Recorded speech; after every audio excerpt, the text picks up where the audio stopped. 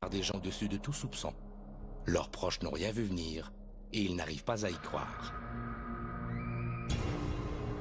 C'est un quartier qui est populeux, mais est-ce qu'il se passe plus d'affaires là qu'ailleurs? Non, pas vraiment. C'est pas un quartier euh, comme dans le Red Light, là, si tu veux. C'est- C'est résidentiel. La plupart des personnes qui ont un problème de jeu pathologique ont pensé au suicide. C'est un homme qui avait quand même une bonne carrure, euh, qui paraissait assez bien. euh, il avait pas l'air d'avoir de, problèmes physiques particuliers. Ils perdent le contrôle dans leur vie. Puis une des façons justement de rétablir le contrôle, c'est en effectuant un passage à l'acte.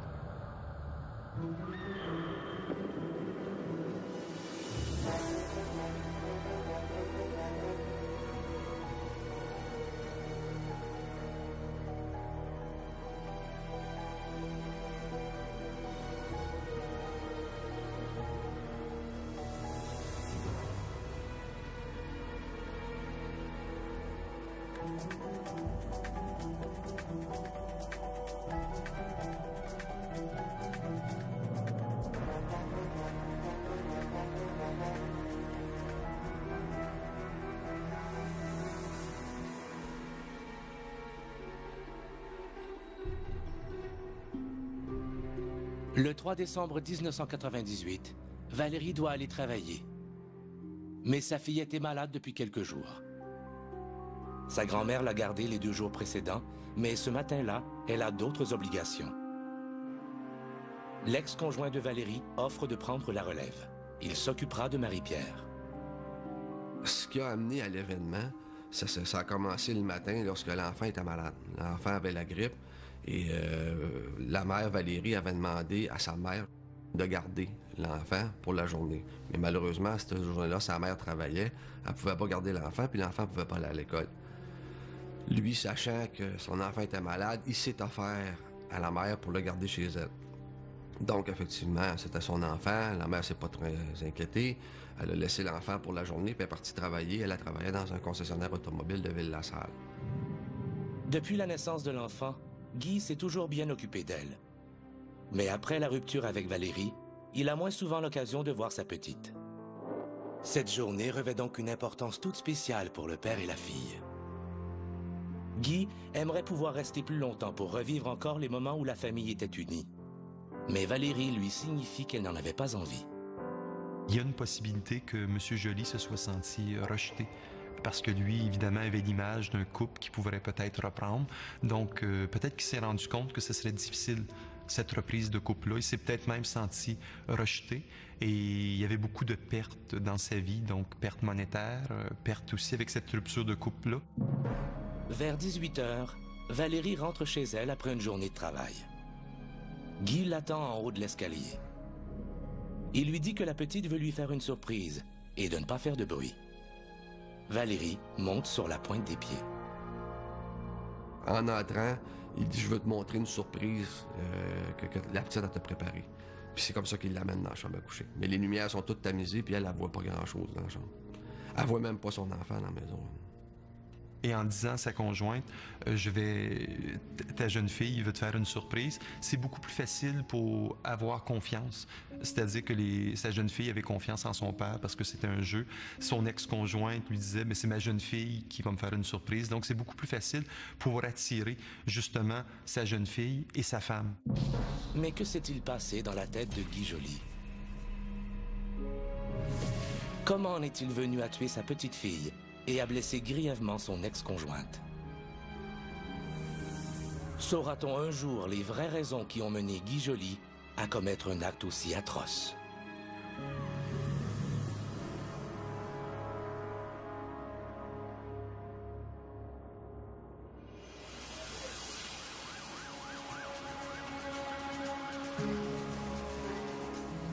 Le soir du 3 décembre 1998, des ambulanciers sanglent Valérie sur une civière et foncent à vive allure vers l'hôpital du Sacré-Cœur. Les urgentologues se précipitent sur Valérie. L'examen révèle que la victime a reçu plus de 35 coups de couteau.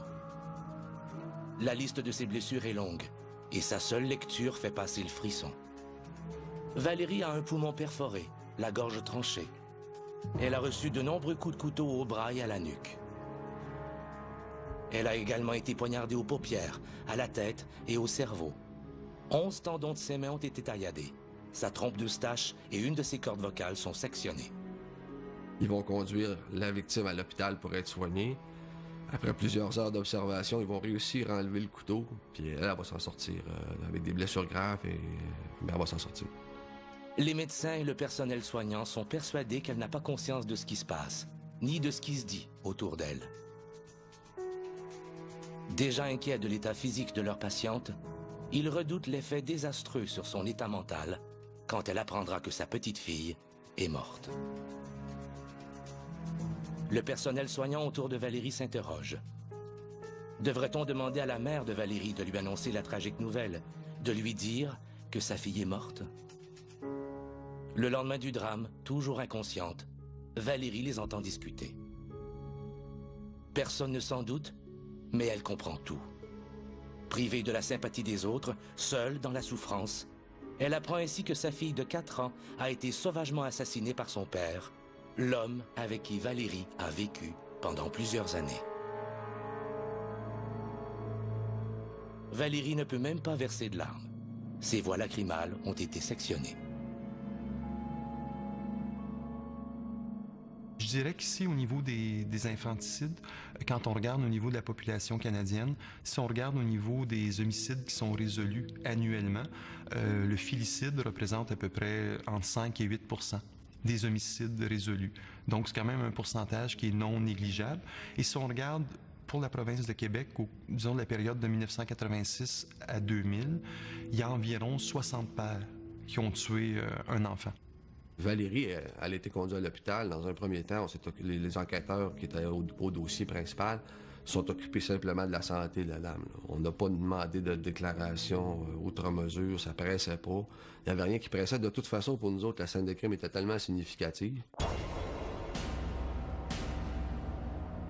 Employé civil de la police de Montréal, Guy Joly baigne quotidiennement dans la violence. Mais quand on parle justement de son implication au SPVM pour prendre les appels, ça aussi c'est un aspect qui est intéressant parce que c'est un monsieur qui a dû entendre beaucoup d'histoires qui sont négatives, donc qui est impliqué beaucoup dans des scénarios qui sont violents sans nécessairement dire que c'est un élément qui est contributif et qui est majeur à l'actualisation de son passage à l'acte, on peut quand même en déduire que c'est un individu qui a une imagerie violente et qui a eu des scénarios violents, du moins il en a entendu beaucoup au cours de sa vie. En juillet 1991, Valérie rencontre Guy Joly. Ils tombent en amour instantanément. Mais sept ans plus tard, leur histoire d'amour se solde par le meurtre sordide de leur fille, Marie-Pierre. Pourtant, pendant les premières années de leur union, Valérie et Guy s'entendaient bien. Et même après leur rupture, rien ne laissait présager que Guy allait s'en prendre à leur unique enfant. Selon ses, employeurs, c'était quelqu'un qui faisait bien son travail. Et il n'y avait jamais rien à lui reprocher au niveau de travail, qui était toujours à l'heure, puis faisait ce qu'il avait à faire. Le jeune couple décide de déménager. Ils arrêtent leur choix sur un joli haut de duplex dans le quartier Saint-Michel. Valérie s'est également déniché un nouvel emploi. Elle travaille maintenant chez un concessionnaire automobile. Une nouvelle maison, un nouveau bébé. L'avenir est plein de promesses.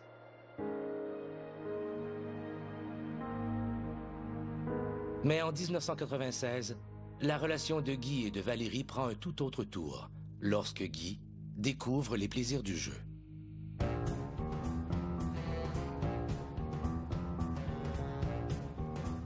c'est quelqu'un qui, l'année justement avant le passage à l'acte, c'est quelqu'un qui travaillait, mais qui avait aussi différents stresseurs psychosociaux dans l'année précédente d'Eli. Euh, donc, il y avait des problèmes de jeu. Et dans, avec ces problèmes de jeu-là, il a perdu des sommes qui sont considérables. Et il, en est, il a même perdu des, son propre argent, l'argent de sa conjointe et l'argent d'autres amis. Guy Joly fréquente le casino. Il gagne de temps en temps, mais comme tout le monde, il perd encore plus souvent. L'attrait du jeu devient haute à ce moment-là. C'est pas seulement qu'un gain phénoménal pour changer sa vie, ça peut être un gain juste pour améliorer son ordinaire, ou ça peut être aussi pour l'émotion que le jeu nous fait vivre. Ça aussi, c'est une importante caractéristique des jeux d'argent. Quand on mise de l'argent, on peut le perdre. Et ça crée un genre d'émotion, un genre de sensation que beaucoup de gens apprécient. Plus le temps passe, plus Guy joue aux machines à sous où il dépense énormément. Parfois, il flambe toute sa paye dans ce loisir néfaste. Ce qui avait débuté comme un simple jeu devient de plus en plus problématique. C'est des personnes qui vont penser pouvoir influencer les jeux alors qu'ils en sont incapables et les jeux sont conçus de telle manière, souvent, à laisser penser aux gens qu'ils peuvent les influencer. Ça, c'est le cas des appareils de belleterie vidéo. Il y a énormément de jeux gagnants. Et la psychologie nous enseigne que quand on gagne relativement fréquemment, mais à intervalles inconnus et irréguliers, ça favorise la continuation du jeu. Et souvent, les individus qui ont des problèmes de jeu pathologiques, c'est souvent, ils ont un niveau d'excitation qui est bas dans leur vie. Et souvent, une des façons, c'est recourir à des activités, justement comme le jeu, pour justement avoir le thrill de gagner des montants qui sont importants. Donc, dans le cas de M. Joly, s'il y a un bas niveau de stimulation, ça risque de s'être opérationnalisé justement dans le jeu euh, pathologique. Si une personne, en plus, euh, conçoit mal les règles de l'aléatoire et qu'elle joue pour aller chercher des émotions fortes, là, elle devient encore plus à risque de développer un problème de jeu. De plus en plus, Guy s'enfonce. Il ne peut résister à la tentation de jouer. Parfois, lorsqu'il a dépensé toute sa paye, il emprunte de l'argent à Valérie pour continuer à miser. Les appareils de loterie vidéo, autant euh, les machines à sous qu'on retrouve dans les casinos que dans les euh, bars, les restaurants et euh, autres endroits de cette nature, coûtent à peu près 140 dollars de l'heure à un joueur, en moyenne. C'est-à-dire qu'une personne qui insère des billets de 20 dollars et qui joue continuellement pendant une période d'une heure, en moyenne, va perdre 140 dollars. Valérie fait preuve d'une grande patience. Malgré les nombreux soucis que lui occasionnent les problèmes de jeu de Guy, elle lui prête souvent l'argent qu'il réclame. Les problèmes de jeu sont presque toujours associés à des problèmes financiers. Et les problèmes financiers peuvent être particulièrement graves. Des personnes qui vont vider totalement leur compte euh, de banque, qui vont vider les comptes conjoints, ah, ça, c'est une des premières manifestations euh, du jeu. Qui vont vendre euh, ou hypothéquer ou réhypothéquer euh, des maisons ou d'autres possessions qu'ils peuvent avoir. Qui vont vendre à peu près tout ce qu'ils peuvent vendre à la maison pour se procurer des sous pour continuer à jouer? Cela fait déjà quelque temps que le problème de jeu de Guy perdure. Il n'est plus l'homme qu'il était lorsque Valérie l'a rencontré. La complicité du couple s'effrite petit à petit. Malgré les reproches de Valérie, Guy continue à jouer. Et à chaque jeton qu'il met dans une machine, il s'éloigne un peu plus de sa famille.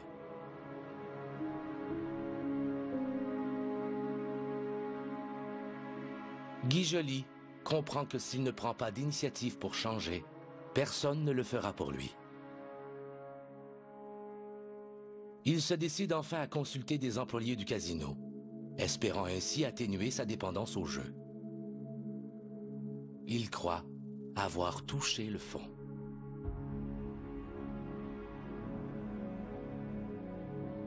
Comme la plupart des joueurs, il sait qu'un formulaire d'auto-exclusion est mis à la disposition de tous ceux pour qui le jeu est devenu un problème. Ce formulaire autorise le personnel désigné à interdire aux joueurs l'accès au casino. Guy Joly signe le formulaire, se croyant enfin délivré de sa malheureuse passion.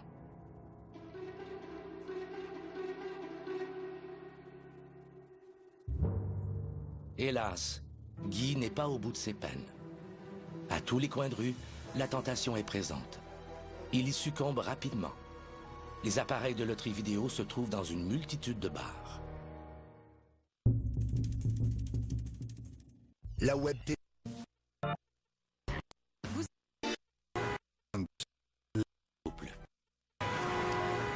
Cette émission comporte des scènes pouvant ne pas convenir à un jeune public. La supervision des parents est suggérée. Tout semblait bien aller dans le couple. Mais Guy Joly est tombé dans l'enfer du jeu. Sa santé se dégrade. La personne va se mettre à moins bien dormir. La personne va avoir éventuellement des problèmes de digestion. Euh, si la personne joue aux appareils de loterie vidéo, ben passer autant de temps assise sur des euh, tabourets qui sont pas nécessairement confortables peut occasionner des problèmes euh, d'une nature plus musculaire, disons. Euh, des problèmes de dépression sont beaucoup associés aussi euh, aux problèmes de jeu. Des problèmes de dépendance à l'alcool aux drogues sont associés aux problèmes de jeu. Il y a toute une série de problèmes que le joueur lui-même va euh, avoir. Puis, le soir du 8 octobre 1998, alors que Guy doit travailler à la centrale d'information policière, ses employeurs remarquent son absence. Personne ne sait où il est. On appelle chez Valérie pour connaître les motifs de son absence, mais elle ne sait pas où il se trouve. Quelques instants plus tard, elle répond à un second appel. C'est Guy. Déprimé, il lui avoue avoir encore tout perdu au jeu et demande à parler à sa fille avant de s'enlever la vie. Valérie le convainc qu'il doit venir discuter avec Marie-Pierre en personne. En attendant qu'il arrive, elle communique avec le patron de Guy pour l'informer de la conversation qu'elle vient d'avoir. Il y avait eu un appel euh, logé au 911, puis il y a des policiers qui s'étaient rendus là avec les gens d'urgence santé pour un homme dépressif. Et à ce moment-là, il avait été conduit à l'hôpital pour être traité pour un début de dépression. Oui, il y avait des indices, mais les indices, il faut les connaître avant. Peut-être qu'on aurait pu prévenir l'avoir su avant, mais à l'époque, on les savait pas, on les a appris dans l'enquête. Le lendemain, soit le 9 octobre, Valérie met fin à son union de sept ans avec Guy. Il n'a pas su écouter ses avertissements.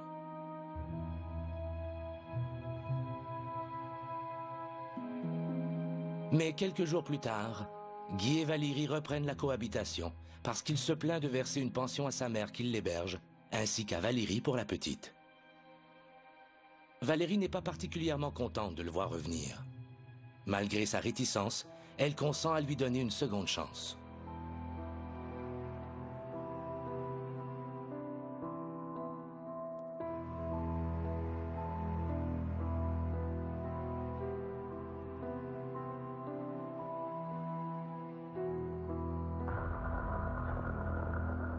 La fin octobre, Valérie ne peut plus tolérer le cycle des ruptures et des réconciliations. Pas plus que les nombreuses promesses non tenues de Guy et ses menaces. Le climat est plus que malsain et elle décide de mettre fin à leur relation coûte que coûte.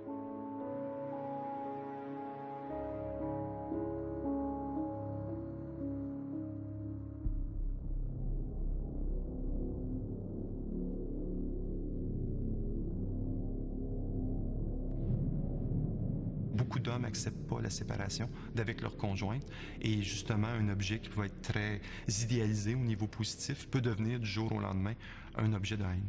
Donc, c'est-à-dire que la rage, l'agressivité va être détournée contre cette personne-là. Après leur rupture, Guy Joly envoie des lettres troublantes à Valérie. Il lui déclare tantôt son amour éternel, tantôt lui confesse sa haine des femmes.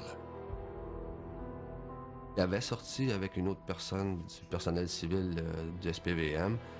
Et à cette époque-là, euh, quand elle l'avait laissé, il l'avait suivi un soir quand elle terminait son travail et il avait essayé de faire prendre, euh, faire perdre le contrôle de son véhicule pour provoquer un accident. Sa vie était parsemée d'éléments de perte. Et c'est quelque chose qu'on rencontre souvent chez les individus familicides. Souvent, ils ont des pertes au niveau de la séparation conjugale, des pertes au niveau de l'emploi, des pertes monétaires importantes, surtout dans ce cas-là au niveau du jeu pathologique. Et souvent, quand l'individu a cette notion de perte intense chez lui, il veut tenter de reprendre le contrôle.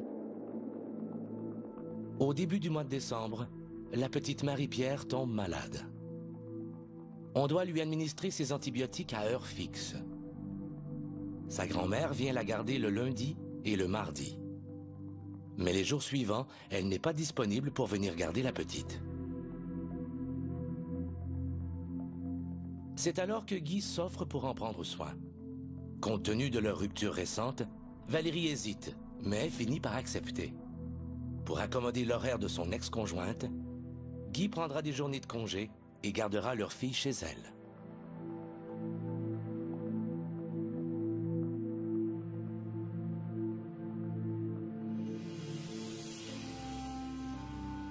La veille du drame, Guy s'occupe de la petite toute la journée. Il prépare le souper. Quand Valérie revient, ils mangent tous ensemble. Valérie accepte même qu'il reste à coucher. Elle dormira avec la petite et lui sur le sofa du salon.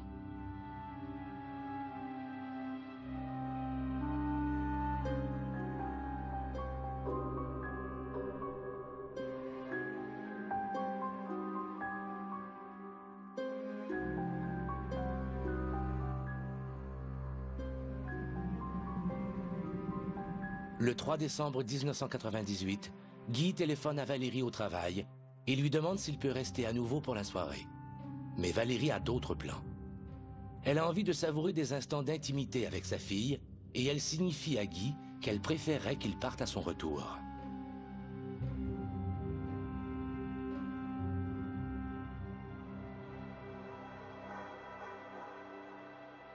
Profondément blessé par ce refus, Guy va s'acheter de la bière au dépanneur avec Marie-Pierre.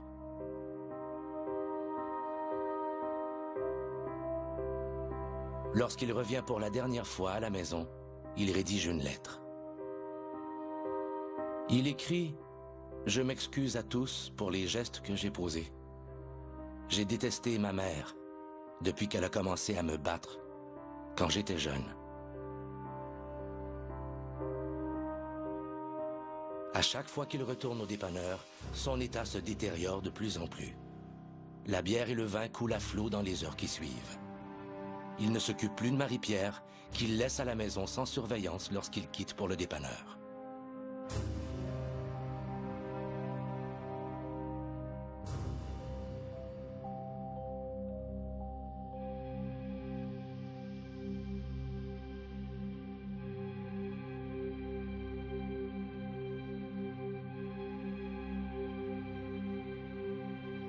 Je n'étais simplement pas capable d'accepter ma séparation avec Valérie, qui m'a complètement démoli. Notre famille a été brisée par ma faute. Maintenant, prenez soin de Marie-Pierre. C'est elle qui m'importe. Il plie la lettre et dans un geste très curieux, la glisse à l'intérieur d'un de ses souliers.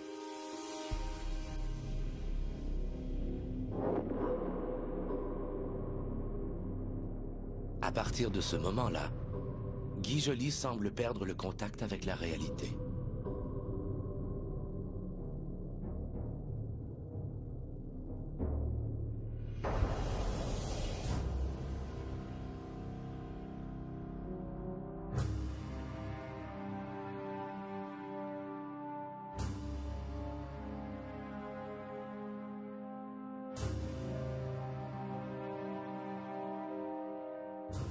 Avait aussi une tendance qui était suicidaire. C'est un peu, si on peut dire normal, si on peut s'exprimer ainsi. Beaucoup d'individus qui sont déprimés ont des idées suicidaires. Et au moment du passage à l'acte aussi, il y avait ce qu'on appelle une intoxication éthylique. Donc, il y avait eu une consommation abusive d'alcool, des éléments qui font, qui sont, qui peuvent altérer beaucoup plus la réalité, surtout dans un contexte d'éléments dépressifs. Personne dans l'entourage de la petite famille n'aurait pu se douter que l'histoire d'amour de ce couple ordinaire allait se terminer pour Valérie dans le pire des cauchemars.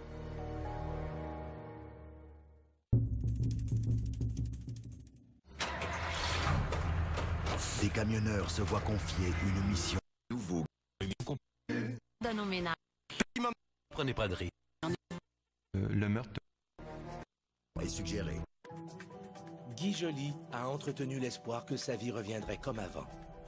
Le refus de Valérie de passer la soirée ensemble l'a profondément désespéré. Sous l'emprise de l'alcool, il va jouer à un jeu d'une cruauté sans nom avec sa fille. L'infanticide, c'est vraiment le, le meurtre d'un enfant, souvent d'un jeune enfant de, moins de 5 ans. Il existe une définition légale au Canada et dans plusieurs pays du Commonwealth, comme en Angleterre et en Australie. Donc, la définition légale, c'est vraiment le, meurtre d'un d'un jeune enfant de moins de 12 mois. Et c'est seulement une femme qui peut être accusée d'infanticide au Canada et non un homme. Donc, euh, quand une femme tue son enfant de, disons, de 13 mois, c'est pas considéré comme un infanticide. Le filicide est beaucoup plus précis comme terme, comme terme professionnel. C'est vraiment les parents qui tuent un enfant, leur propre enfant, que ce soit le père ou la mère, et là aussi, peu importe l'âge euh, de l'enfant.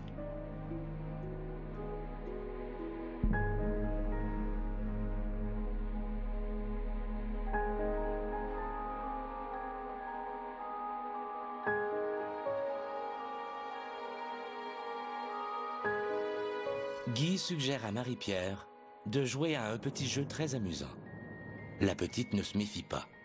Guy est son père. Et malgré les disputes entre ses parents dont elle a été témoin, elle l'aime d'un amour inconditionnel.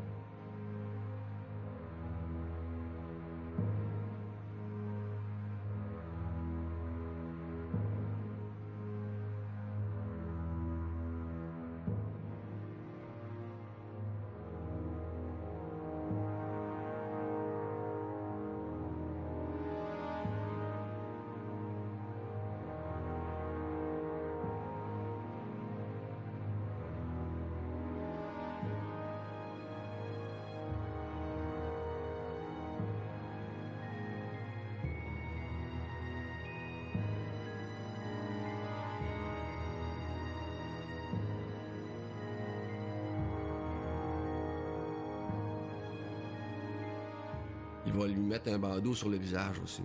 Et puis l'enfant va commencer à pleurer, elle va avoir peur, elle se demande qu'est-ce qui se passe. Il va l'étrangler, il va l'étouffer. L'enfant va râler un dernier coup, mais il va avoir l'impression qu'elle respire encore. Il va prendre un bâton de hockey, comme un manche de bâton de hockey qui servait euh, si quelqu'un venait pour se défendre à la porte que lui avait mis à l'époque. Il va frapper l'enfant à de multiples reprises avec ça. Monsieur semble avoir perdu le contrôle. Donc, il semble avoir perdu le contrôle et il semble l'avoir étouffé avec ses mains. Et ça ressemble à beaucoup d'éléments de perte de contrôle qu'on retrouve dans sa vie. Perte d'argent, perte au travail, perte au niveau de la rupture de couple.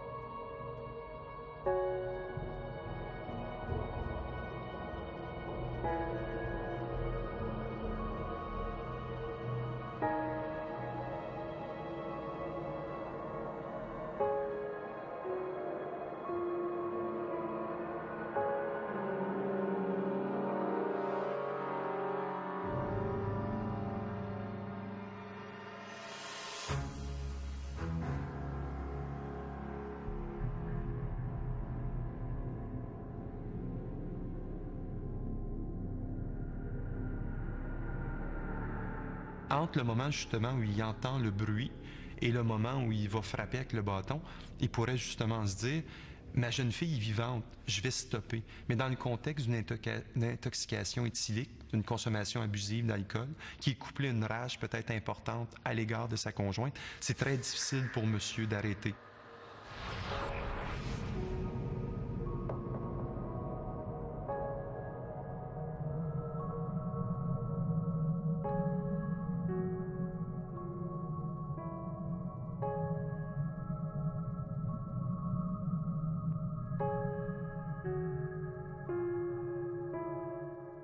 Possible aussi que monsieur voulait faire souffrir sa conjointe et qu'il voulait lui montrer la jeune fille qui était morte, sauf qu'à un moment donné, il voulait contrôler madame. Il voulait peut-être même lui dire que la jeune fille était morte pour la faire souffrir.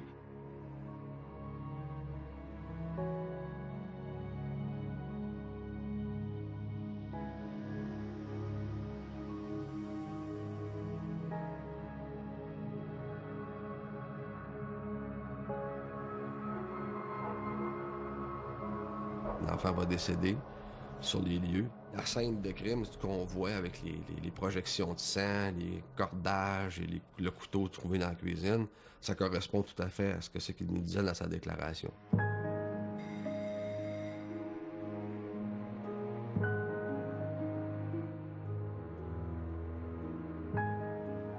Quand Valérie rentre à la maison, Guy lui dit de ne pas faire de bruit, car Marie-Pierre a préparé une belle surprise. Valérie ne se méfie pas. Sa fille a l'habitude de lui faire des surprises. Elle monte à l'étage, rejoindre Guy.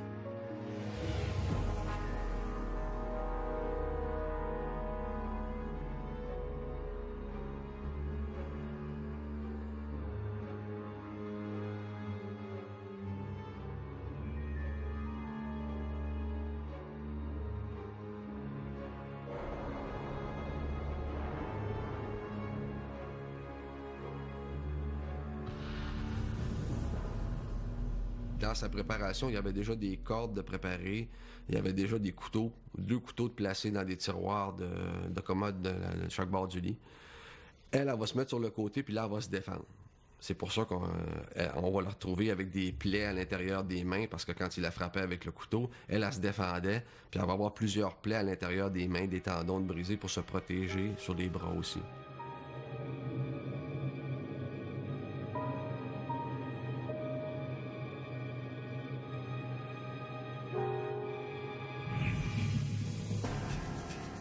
Valérie réussit miraculeusement à se défaire de l'emprise de Guy.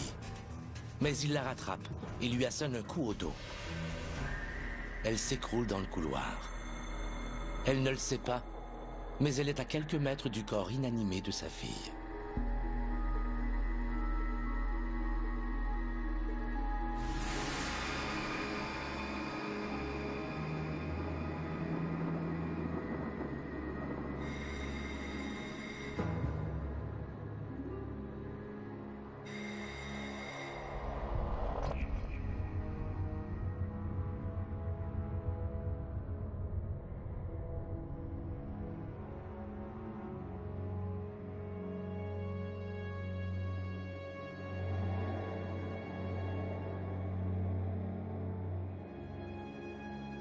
Soudainement, il a arrêté de la frapper, puis il s'est sauvé par la porte d'en arrière. Puis c'est là qu'il s'est rendu au poste de quartier. Elle est descendue les marches et c'est là que la voisine de palier s'est ramassée avec elle. Puis euh, elle était en choc. La dame a fait un arrêt cardiaque par la suite. Elle a eu des malaises euh, quand c'est arrivé. Tout de suite, tout de suite après. Par chance, la voisine réussit à ouvrir la porte. Voyant Valérie en sang, elle crie à son mari d'appeler la police.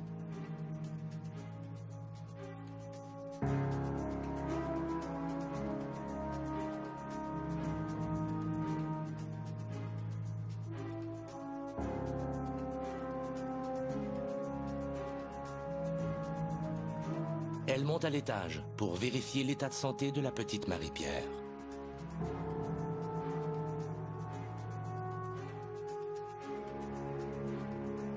Les policiers se sont rendus. Au moment où ils se sont rendus, l'événement s'était passé à 87-25. C'était pour une femme qui était blessée, ensanglantée, avec euh, un couteau planté dans l'œil. On pénétrait à l'intérieur des lieux. Euh, la dame qui demeure à 87-27 s'était déjà rendue sur les lieux, puis elle avait vu l'enfant qui était là dans, la chambre à coucher, qui était décédé. qu'il semble y avoir peut-être des éléments de vengeance qui sont activés justement à l'égard de sa jeune fille. Donc, on parle peut-être d'un transfert d'agressivité de sa conjointe contre sa jeune fille. Puis, il y a l'élément où il a tué sa jeune fille et il a tué aussi sa conjointe. Donc, on parle d'un féminicide qui est quelque chose d'extrêmement masculin comme passage à l'acte et surtout associé aux nombreuses pertes qu'il a vécues, perte d'argent, perte de couple. Donc, la reprise de contrôle est très masculine habituellement en éliminant tous les membres de sa famille. Donc, sa conjointe et sa jeune fille. Habituellement, lorsqu'on parle des femmes, il est très rare qu'elles vont faire des passages à l'acte euh, familicide. Donc, euh, c'est très, très masculin, le comportement de, de M. Joly. Pendant que la police est dépêchée sur les lieux du drame et que sa fillette est transportée à la morgue, Guy Joly se rend au poste de quartier le plus près. Mais dans sa hâte, il a oublié d'enfiler ses souliers.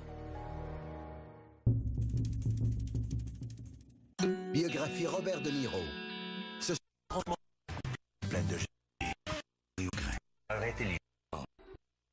Effondré. supervision des parents est suggérée. Guy Joly vient de se livrer à un acte de barbarie sans nom. Son monde s'est effondré.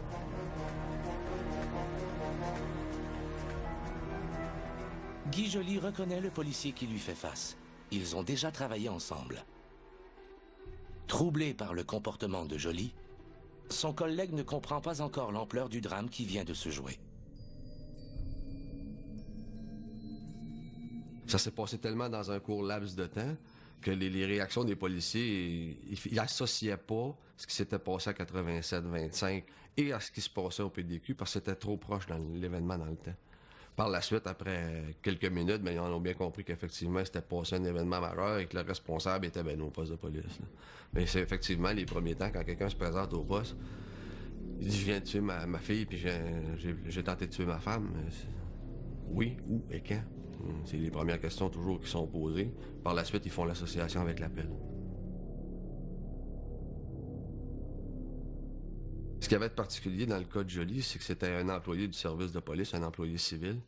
Euh, lui, il travaillait à ce qu'on appelle, nous autres, la centrale d'information policière, là où les policiers ont besoin d'informations. Ils se réfèrent euh, avec un numéro spécial au téléphone. Ils peuvent demander des noms, des dates de naissance, des plaques, des adresses, euh, des choses comme ça. Puis c'est ces gens-là qui nous fournissent ces informations-là. Et lui, il travaillait là.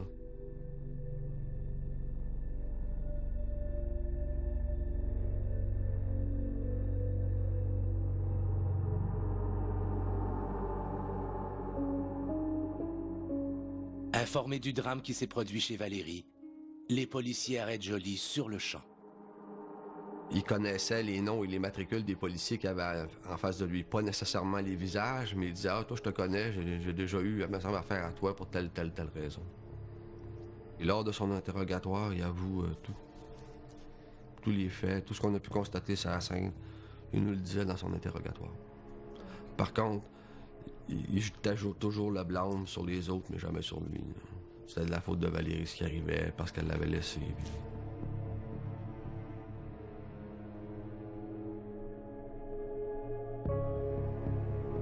Après un interrogatoire préliminaire, il est conduit à l'hôpital pour soigner ses blessures. Il terminera sa nuit au centre opérationnel Nord pour y être dûment interrogé. Je me souviens par d'un détail euh, qui est assez important, assez significatif, je dirais. Quand il y a eu son arrestation au poste de police, on a saisi ses vêtements. Il y avait des vêtements, des jeans, un chandail, mais il portait des sous-vêtements de femme. Pourquoi, là, je ne sais pas. J'ai pas d'idée pourquoi il portait ces sous-vêtements-là, mais c'était assez particulier, ça, comme, euh, comme, euh, comme détail. Pendant ce temps, Valérie ignore toujours que sa petite est morte. C'est sur son lit d'hôpital qu'elle apprendra l'horrible sort que son ex-conjoint a réservé à sa fille. Pendant plusieurs jours, elle n'a pas été capable de parler. Elle n'a pas été capable d'expliquer qu'est-ce qui s'est passé. Les enquêteurs n'ont pas pu la rencontrer. Elle était dans un état de choc. Elle a vraiment euh, euh, lutté pour sa survie. C'était l'instinct animal qui l'a habité, puis elle se défendait. C'est pour ça qu'elle est blessée comme ça. C'est pour ça que lui, il n'a arraché tant que ça aussi, parce qu'elle a mis tout ce qu'elle avait pour se défendre. C'est probablement pour ça qu'elle a survécu, puis c'est pour ça que l'enfant, lui, n'a pas survécu. Il n'est pas capable de se défendre. C'est sûr que si on regarde uniquement la résultante, sa conjointe est, pas décédée. Donc, il y, a des- il y a certaines personnes qui diraient que c'est pas un familicide, mais moi, de la façon que je regarde ce cas-là, c'est un familicide. Parce que tenter de tuer sa femme, je dirais que c'est un peu le hasard qui a fait qu'elle a survécu. Parce qu'il y a eu de 20 à 30 coups de couteau. Donc, et monsieur s'attendait à ce qu'elle soit morte. Des problèmes de jeu peuvent-ils mener un homme à commettre des gestes aussi horribles? S'agissait-il d'une dépression dont personne ne comprenait la gravité? Était-ce une haine viscérale des femmes? Pourquoi Guy Joly a-t-il tué sa fille et tenté de tuer son ex-conjointe? Pourquoi? Généralement, les cas de meurtre, c'est des cas où les personnes peuvent être très contrôlantes sur leur environnement familial, sur les personnes qui les entourent. Euh, ça, c'est pas relié particulièrement au jeu, c'est relié, on imagine beaucoup plus à la personnalité de de cette personne-là que ça donne en l'occurrence à être un joueur. Ben, les raisons pour lesquelles il a voulu tuer son enfant, il a-tu voulu se venger sur la mère en tuant l'enfant? Parce que si tu veux faire mal à une mère, qu'est-ce que tu fais? T'attaques ses enfants. Tu veux faire mal à un père, t'attaques ses enfants. Je pense que c'est la raison pour faire le plus mal à un individu, c'est sûr. Des signes avant-coureurs auraient peut-être pu prévenir ce drame. Deux semaines avant, des ambulanciers étaient intervenus de toute urgence auprès de Jolie en détresse. Il avait été alors hospitalisé et suivi par un psychologue. On peut pas blâmer et ce professionnel-là parce qu'il n'est pas toujours facile de détecter justement puis de voir les signaux importants. Et ça ne veut pas dire que tous les individus aussi qui ont ces signaux-là, dans le cas de, de M. Joly, exemple, il y a eu plusieurs pertes et mais ça ne veut pas dire que tous les individus qui subissent des pertes vont faire un passage à l'acte homicide. Donc, il est très difficile de faire de la prévention dans ce type d'homicide-là. La nature humaine, c'est ça, là. On peut pas, on peut pas être dans la tête de tout le monde. Par contre, faut essayer d'être au moins un peu allumé de ce qui se passe autour de nous autres. Si on voit quelqu'un qui file pas, qui est en détresse, qu'est-ce que t'as? Tu on a des bons programmes d'aide à l'intérieur du service qui nous permettent d'orienter ces gens-là, au niveau psychologique. S'ils ont des problèmes de jeu, ils peuvent nous en parler. Le lendemain du drame, le 4 décembre 1918, Lee est fort accusé du meurtre de sa fille et de tentative de meurtre de son ex-conjointe. En juin 2000, Jolie, qui a avoué sa culpabilité pour le meurtre sans préméditation de sa fille, est condamné à la prison à vie sans possibilité de libération conditionnelle avant 18 ans. C'est quand même une sentence à vie. Il va toujours être sous surveillance. Est-ce qu'ils vont le relâcher au bout de 18 ans? Je sais pas. Un an jour pour jour après avoir assassiné sa fille, Guy Joly fait paraître une lettre dans la chronique nécrologique du Journal de Montréal, en essayant de se faire pardonner. La date de la mort de l'enfant, évidemment, est une date clé qui peut réactiver des idées suicidaires et des éléments souvent de dépression, c'est-à-dire tristesse, désespoir. Ça peut être des dates aussi comme Noël, où, souvent c'est des fêtes qui sont plus pour les enfants Noël, ou des journées justement de fêtes d'enfants spécifiques. La, réaction des gens était très forte. Les gens étaient offusqués, la famille. Euh, que c'est ça? Qu'est-ce qui s'est passé? C'est pas nous autres qui avons envoyé ça. C'est lui qui l'avait envoyé. Comment est-ce qu'un gars peut envoyer des messages aussi scabreux? Euh, est-ce que c'est scabreux ou est-ce que c'est qu'il est repentant? C'est assez dur quand tu lis le texte de, le savoir, mais c'est particulier. C'est sûr que ça a fait réagir la famille, c'est bien évident. Mon trésor, tu aurais cinq ans aujourd'hui. Comment oublier ton sourire et ta personne? Comment oublier qui tu étais? Impossible. Tu me manques à chaque seconde, à moi et à tous. J'ai été le plus choyé des papas du monde d'être ton papa. Nous nous aimons comme un père et sa fille s'aimeraient, inconditionnellement. Tu resteras présente dans mon cœur à la vie, à la mort. Je t'aimais, je t'aime, je t'aimerai toujours, ton papa Guy. C'est assez particulier. Souvent, il y a plusieurs personnes, euh, lorsqu'ils sont en institution psychiatrique ou en prison, euh, qui veulent faire quelque chose pour se racheter aussi qui vont tenter. Et pour monsieur, c'est une possibilité peut-être, le fait d'avoir publié euh, justement ce, petit passage-là dans les médias. C'est peut-être un élément justement pour se faire pardonner ou pour souligner justement que la vie de sa, jeune fille est importante, puis qu'il y a des regrets. Mais on peut pas savoir, c'est peut-être des éléments aussi de manipulation justement, pour justement que son image qu'il aimerait garder positive soit pas trop entachée. C'est une possibilité. Essayez d'imaginer votre enfant attaché, battu. Le pire film d'horreur que vous avez pu voir dans votre vie. Toutes les histoires vraies que vous avez pu voir à télé, là. C'est même pas la moitié de ce qui s'est passé dans ma vie.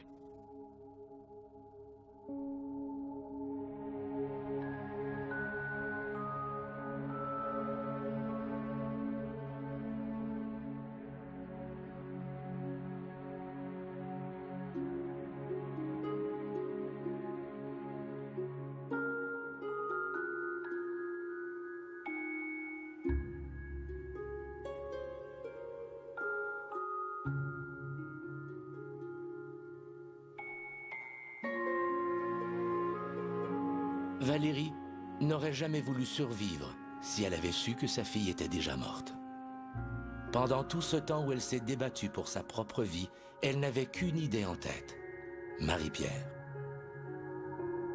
Aujourd'hui, elle doit vivre avec le spectre de cette nuit de cauchemar. Si un tel drame se préparait dans votre entourage, sauriez-vous le voir venir?